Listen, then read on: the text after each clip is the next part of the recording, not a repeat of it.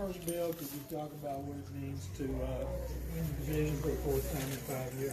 It's a good accomplishment. I think anytime you can uh, win 10 games and, and uh, win your division uh, four out of five years, I mean, I think it shows uh, some level of, of consistency. But um, you know, obviously, you've got a long way to go. But uh, it's good, great, great accomplishment.